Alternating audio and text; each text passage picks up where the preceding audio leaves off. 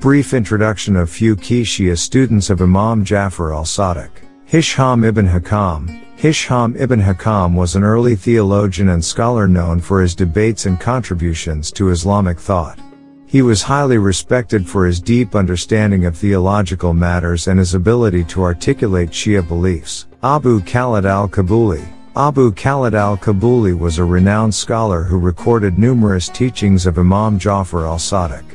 His meticulous efforts in compiling the knowledge he acquired from the Imam have greatly contributed to the preservation of Shia traditions. These individuals played crucial roles in preserving, transmitting, and expanding the knowledge taught by Imam Jafar al-Sadiq, contributing to various areas of Islamic scholarship, science, philosophy and intellectual pursuits.